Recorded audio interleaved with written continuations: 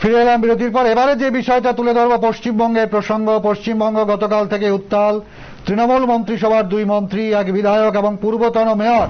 এই চারজনকে নারদ কাণ্ডে গ্রেপ্তার করেছে সিবিআই এবং আজকের আপডেট জানার জন্য আমাদের পশ্চিমবঙ্গের প্রতিনিধি কাঞ্চন দাস রয়েছেন। কাঞ্চনবাবু রয়েছেন আমাদের সঙ্গে। কাঞ্চনবাবু শুনতে পাচ্ছেন? হ্যাঁ পাচ্ছি। আজকের কি আপডেট এবং নির্দেশ পুনর্বিবেচনার জন্য হাইকোর্টে আবেদন করার কথা? এবং সিবিআই অগ্রিম সুপ্রিম কোর্টেও যাচ্ছে কারণ তৃণমূল থেকে সুপ্রিম কোর্টেও যেতে পারে সেই আশঙ্কা করে। গোটা বিষয়টি যদি তুলে ধরেন কাঞ্চনবাবু। হ্যাঁ, প্রথমে জানিয়ে রাখি যে দুজন প্রাক্তন মন্ত্রী এবং দুজন বর্তমান মন্ত্রী।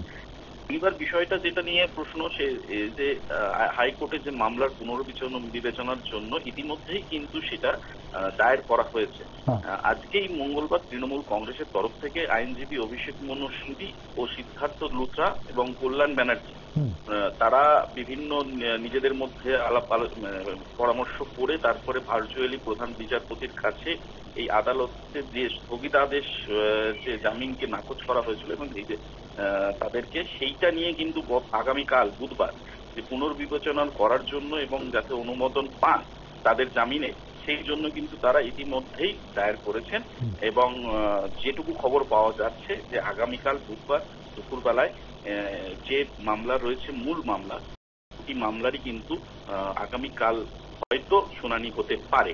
পাশাপাশি সিবিআই যে কথা আপনি বললেন যে সিবিআই কিন্তু শীর্ষ আদালতে ক্যাভিয়েট দাখিল করতে আহ, চলেছে বা আজকে মানে করেছে আর কি তারা।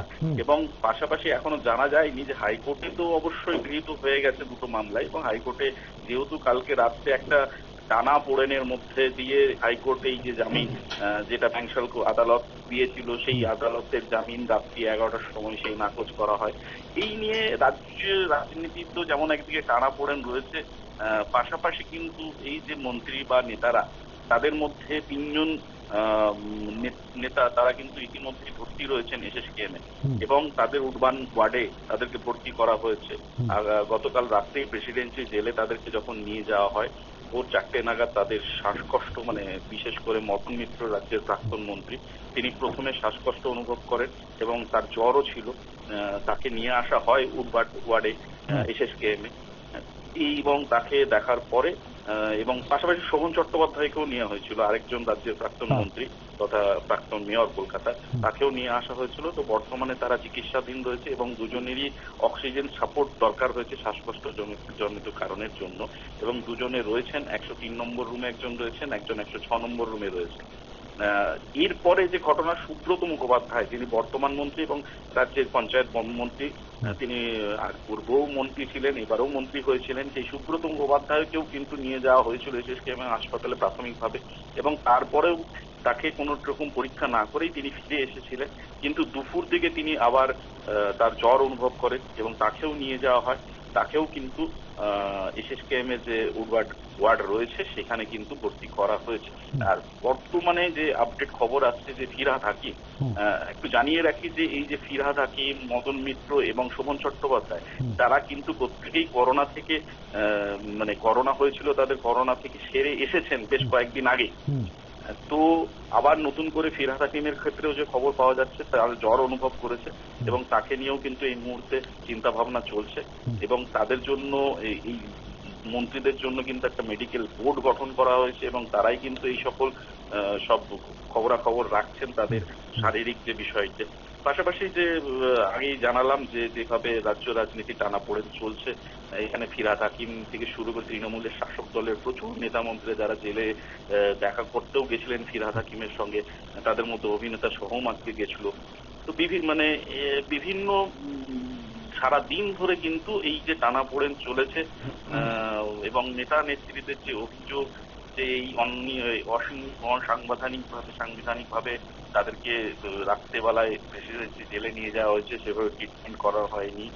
এই সব কিছু চলেছে আজকে ধরে। একটা আরেকটা প্রশ্ন জানতে চাইব আপনার কাছে। গতকাল থেকেই যে, তাদেরকে গ্রেপ্তার করা হয়, সে বিষয়ে তৃণমূল কংগ্রেসের কর্মীরা বিভিন্ন জায়গায় হুল, হুলস্থুল বাঁধিয়েছিল করোনা সংক্রমণ জনিত পরিস্থিতির মধ্যেও। বিভিন্ন জায়গায় এই ধরনের বিক্ষোভ আন্দোলনের ঘটনার খবরও পাওয়া গিয়েছিল।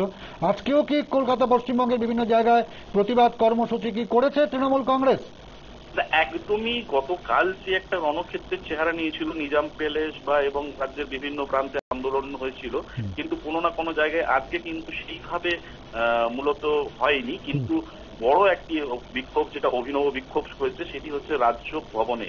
রাজ্যপাল যিনি রাজ্যপালকে নিশানা করে তৃণমূল নেতৃত্বের তরফ থেকে আহ, আজকে ভেড়ার পাল নিয়ে গিয়ে রাজভবনের সামনে আহ, বিক্ষোভ দেখানো হয় এবং সম্পূর্ণভাবে রাজ্যপালকে যেভাবে তৃণমূল নেতৃত্ব এই ঘটনার জন্য দুষছেন, সেই নেতৃত্বই সেই অভিযোগ তুলে আজকে রাজভবন গেটের সামনে সিটিজেন এগেনস্ট ডাটি পলিটিক্স অ্যান্ড করাপশন এর সমর্থকরা আজকে কিন্তু ওখানে ভেড়ার পাল নিয়ে উপস্থিত হয়।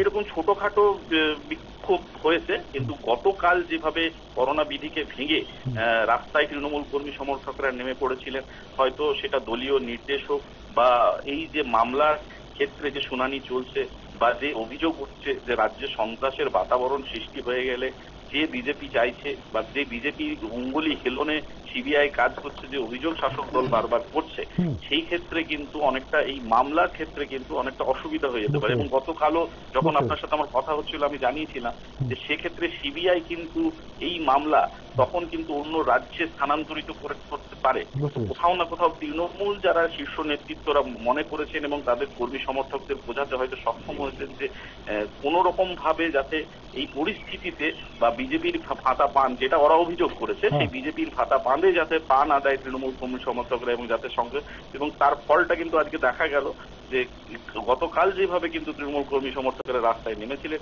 আজকে কিন্তু তার তুলনায় অনেক কম নেমেছে। বুঝতে পেরেছি। হ্যাঁ, ধন্যবাদ কাঞ্চন বাবু আপনার আমাদের সঙ্গে এতক্ষণ ছিল আমাদের পশ্চিমবঙ্গের প্রতিনিধি কাঞ্চন দাস। গোটা বিষয়টি তুলে ধরলো এবং পশ্চিমবঙ্গে গতকাল থেকেই রাজনৈতিক টানাপোড়েন চলছে। তৃণমূল মন্ত্রিসভার দুই মন্ত্রী প্রাক্তন মেয়র এবং একজন বিধায়ককে গ্রেপ্তার করেছে সিবিআই এবং এই গ্রেপ্তারের প্রতিবাদ জানিয়ে বিভিন্ন জায়গায় গতকাল কোভিড বিধি লঙ্ঘন করে রাস্তায় নামে এবং আজকে কাঞ্চনবাবু যেটা বললেন, রাজভবনের সামনে ভেড়ার পাল নিয়ে বিক্ষোভ দেখায় তৃণমূল কংগ্রেসের নেতৃত্বরা বা তৃণমূল কংগ্রেসের কর্মীরা। যাচ্ছি ছোট্ট বিরতিতে, বিরতির পর আসবেন আমাদের নিউজ অনুপম ভট্টাচার্য। কোভিড পরিস্থিতি নিয়ে তুলে ধরবেন আরও অন্যান্য বিস্তারিত বিষয়। যাচ্ছি ছোট্ট বিরোধীদের সঙ্গে থাকবেন এবং দেখবেন নিউজ ভেন্ডার ফোন করবেন, আপনারা আপনাদের মতামত জানাবেন, আলোচনার আমাদের সঙ্গে শেয়ার করবেন। যাচ্ছি ছোট্ট বিরতিতে